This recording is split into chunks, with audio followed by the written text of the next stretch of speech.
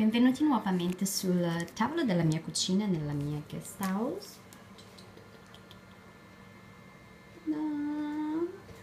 E oggi vi faccio vedere questa bellissima confezioncina, eh, me l'ha regalata una, una donna giapponese. I giapponesi sono troppo teneri, ti fanno sempre un sacco di regali, difatti se guardate il mio altro video vedrete che una ragazza mi ha portato un pasticcino a forma di um, orsetto e questo invece è yokan. Yokan è una tradizionale gelatina è servita come dessert, ce ne sono tre tipi diversi in questo pacchettino e adesso lo apriamo così faccio colazione.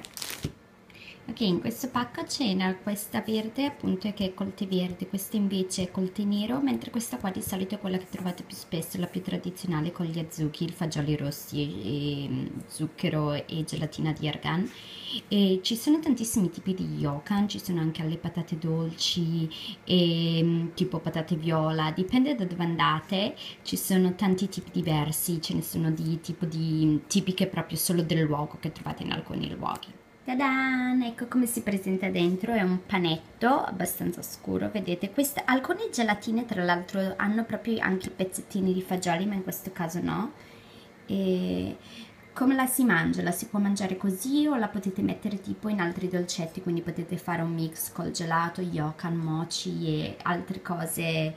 Eh, Seguite la mia playlist sul Giappone ed iscrivetevi al mio canale. Grazie per guardare i miei video. Xin.